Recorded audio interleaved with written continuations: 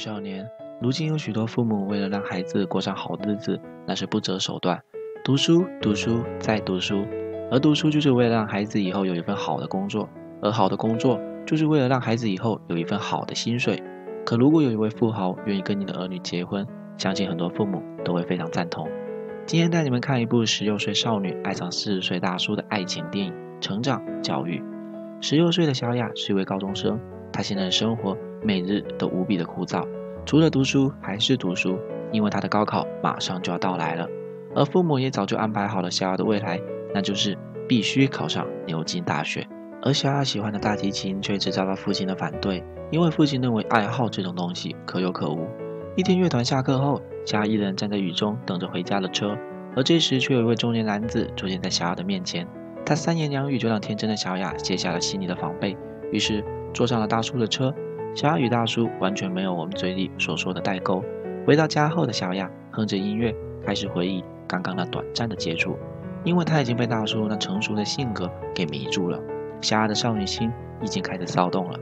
在一天跟同学出门逛街时，小雅再次遇到了大叔，她非常的热情，过去跟大叔搭讪，而大叔也邀请小雅在周五的时候与他一起参加一场隆重的音乐会。但是小雅此时不敢答应，因为死板的父亲只会让她读书。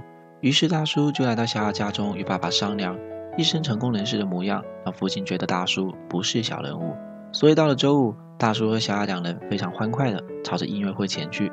小雅也认识了大叔生意上的合作伙伴莫拉以及他的女朋友苏拉。接下去，小雅见到了她从未见过的上流生活，那高端霸气上档次的音乐会以及豪华无比的大餐厅，一下子让小雅沉醉于此。在小雅从莫拉嘴里得知下周有一场大型拍卖会后，从未想过逃课的小雅，竟然决定不管怎样都要去看看这拍卖会。而小雅和大叔的关系也从朋友发展到了情侣。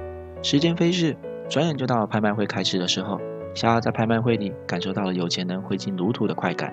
在小雅询问大叔工作时，可大叔却支支吾吾地说和莫拉在做一些小生意。而话题还没结束，大叔就将车停了下来，然后走到了路边，帮助那些需要帮助的人。他这行为让小雅对大叔的崇拜更加的深，而最近的奢靡的生活让小雅压根无心学习，所以导致成绩一落千丈。小雅回家后也被父亲严厉的指责，因为高昂的补习费让父亲也有点喘不过气。他是多么希望女儿将来能带他游山玩水，能别像他一样天天为了钱而烦恼。但有一天，大叔竟然来到家中，他用他身上那成功人士的气息，让父亲改变了想法，改变了那个要让女儿考上牛津的想法。事实上，小雅也早就认为读书压根没有用。她在与大叔一伙人的相处中，领悟到了纸醉金迷是多么的舒服。她甚至直接顶撞一直非常看好自己的老师，说老师学历再高，不也就是一位老师吗？有一次，大叔带着小雅去谈生意，可在小雅知道了大叔的生意内容后，就非常看不起大叔。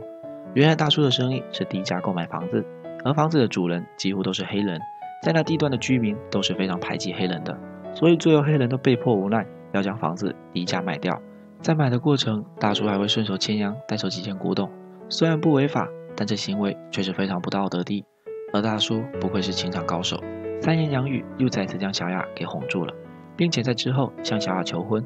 订婚后的小雅在班里非常的显摆，完全不再学习，哪怕校长在劝说，也被小雅用各种犀利的言语给反驳回去，并退了学。他已经彻底的在上游生活中沦落了。在小雅的生日上。大叔拿着一大堆礼物过来庆祝，这一刻，父亲认为小雅读不读书已经无所谓了。反观小雅，虽然沉迷在大叔带给她的上流生活，但其实她是真的爱上了大叔。美好的生活很快也就结束了。小雅在一次偶然中发现了大叔的一个秘密，其实大叔已经结婚了，而小雅也不是大叔第一位玩弄的女人。这一切都是一场闹剧。在一天夜晚，父亲前来道歉，他明白自己的所作所为是错的。自己的女儿被年长的男人诱惑，自己不反对，完全是为了钱。但其实父亲还是想自己的女儿过上好日子，他不应该让女儿放弃牛津的梦想。虽然过程是苦了点，但终点已经要到了。父亲希望女儿能原谅自己。之后，小雅找到了校长，为自己之前愚昧的行为道了歉。利用留级一年为代价，他如愿的考上了牛津。成功的那一刻，他激动的都快哭了出来。成长没有捷径。父母让你读书，读书再读书，为的就是让你以后有能力靠自己活出精彩。买彩票一夜暴富，嫁了一位好郎君。不读书出门闯荡，竟然成了千万富翁，这都是现实发生过的事情。但是你身边能有这样经历的朋友会有几位？哪怕你朋友每个都是如此，可你就是这么倒霉，你什么都没有，你只能学习。当你有了足够的知识和能力，机遇摆在你面前，你才能比别人更快的抢到手。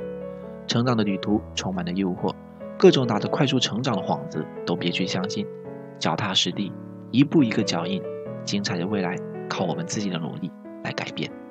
明天依旧是元气满满的一天。我是少年，如果你喜欢我的解说，请点一个关注。那咱们下期再见。